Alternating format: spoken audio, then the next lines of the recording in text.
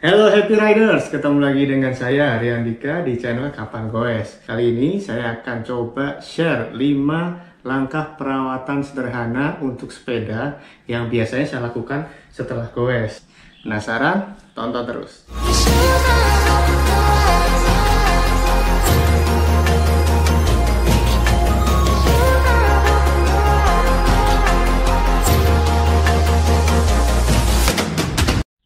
Buat kalian yang baru nemuin channel ini, saya ingetin lagi ya buat klik subscribe dan tekan loncengnya agar kalian selalu dapat update atau notifikasi jika ada video-video baru. Oke, lanjut. Number one. Yes, ini sih wajib banget ya. Jangan males. Musim hujan gini pasti bikin sepeda kita kotor banget. Apalagi buat teman-teman yang main hutan atau off-road. Capek jangan jadi alasan buat gak cuci sepeda. Saya lebih senang cuci sepeda dengan posisi kebalik gini. Alasannya simple. Jadi gampang bersihin area-area bawah dan area tersembunyi. Nyucinya pakai apa? Yang murmur aja, pakai sunlight.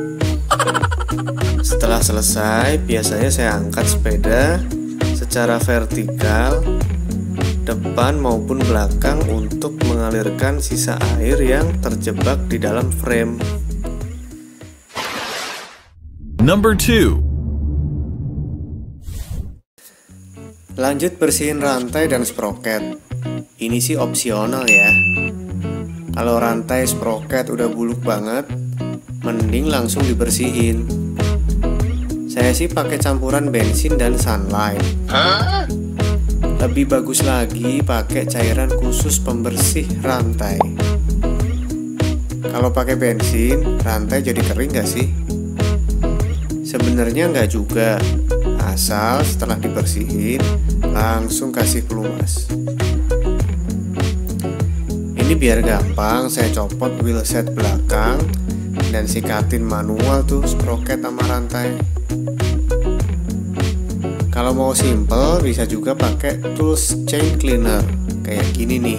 Banyak kok yang jual di Tokopedia atau Bukalapak.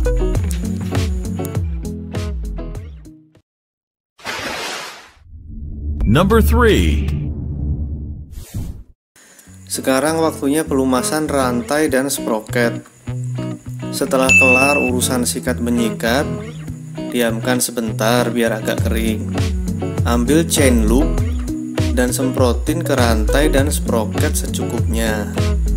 Kalau pakai oli singer atau oli motor bisa nggak sih? Secara fungsi bisa, karena basisnya adalah sama-sama bahan pelumas.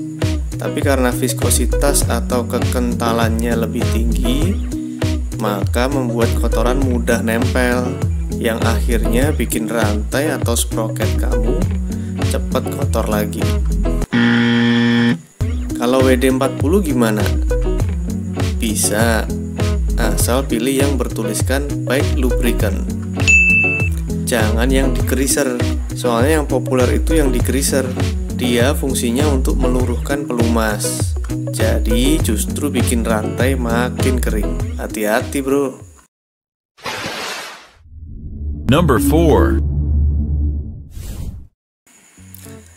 Next, pelumasan stanchion.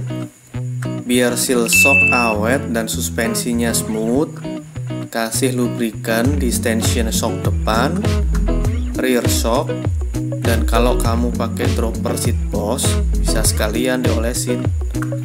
Lubrikannya banyak yang jual di Tokopedia atau Bukalapak. Kasus bunyi-bunyian di fork biasanya gara-gara seal kering. Olesin secukupnya, lalu tekan handlebar ke arah bawah atau bisa sambil kamu naikin sepedanya. Nanti akan muncul kotoran dari seal. Bersihkan aja pakai tisu.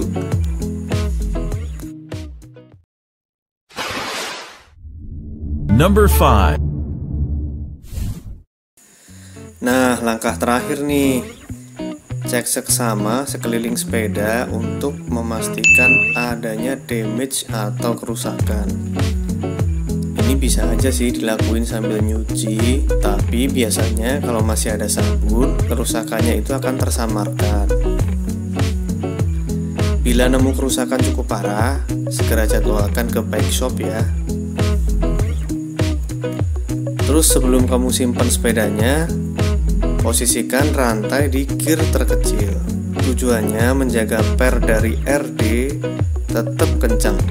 Karena kalau di gear besar, cage atau lengan RD akan berada di posisi open. Dikhawatirkan akan meregang apabila dibiarkan dalam jangka waktu lama. Oke, itu tadi teman-teman langkah-langkah sederhana yang bisa kalian lakukan agar sepeda tetap fit dan siap untuk diajak ke trek berikutnya. Sekian dari saya, mudah-mudahan video ini bermanfaat. Oke, ketemu lagi di video selanjutnya.